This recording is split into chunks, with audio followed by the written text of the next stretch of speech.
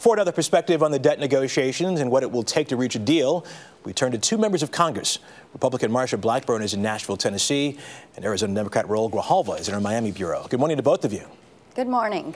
Good morning. Congressman Grijalva, I'll begin with you. It looks like a deal is no closer today than it was a week ago. In your opinion, what's holding up the process? I, I, think what's holding up the process is, and I, and I agree with the president, that it's time we listen to the American public. American public is saying very clearly that they want essential programs, Social Security, Medicare, protected and enhanced for the future, and I and I believe firmly that can be done without sacrificing uh, benefits and, and coverage for, for the American people that depend on these programs. Representative the American people are also saying the they're also saying you need to roll back those Bush taxes. You need to get and cut back those corporate by overwhelming numbers. So if maybe the will of the American people would play a role, we could get to a, to a deal. Congresswoman Blackburn, let me ask you, do you agree with that assessment? No, I do not agree with that. I think we have to realize we are not in this situation because the debt limit is too low. We're in this situation because we spend too much. And indeed, since this president took office, he has added $3.7 trillion to the national debt.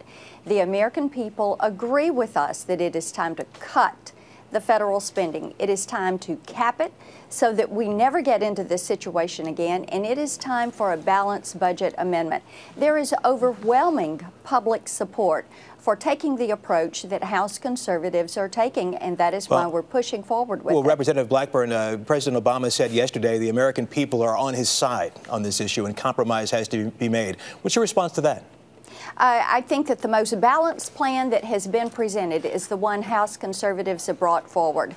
What we have said is, Mr. President, you may be kick the can down the road. We are the buck stops here, Congress. We are willing to put our plan on the table, which is exactly what we have done. We are willing to work to make certain that we cut this out of control federal spending. They have spent $7.3 trillion since the president took office. We are borrowing 40 cents of every dollar. And you know, it doesn't matter if it is Democrat or Republican. It is too much let spending. Me, it is time to stop. It. Representative Grijalva, let me bring you back into this just for a second. Let me ask you something. At the end of the day, could you support a plan that includes no tax increases on the wealthy? No, I, I think we're in this fiscal mess because of 10 years of precisely those tax policies and those fiscal policies. And when we talk about spending, there's front door spending that we need to do and, and have done for, uh, with earned benefits like Social Security. Then there's backdoor spending that is also spending of, of government dollars, subsidies for big gas and big oil the, the, if, the tax cuts to the richest two percent. That, that is taxpayer money that is being spent. It's the, the definition of spending has to be broadened here. Well, Otherwise, the rules of engagement if, for, if for compromise will never exist. Representative Blackburn, go ahead. Yes, if I may point out something, please. Uh, with the passage of Obamacare, it was the Democrats and the president that took $575 billion out of that program. Now we have a program that is too expensive to afford. It is an imperative that we put these spending issues, no. and every economist, whether they're liberal or conservative, every ratings agency says what we have to see from the Congress of the United States is a plan for how to deal with this out of control Representative federal Grijalva, spending. 10 seconds for you, Representative Grijalva.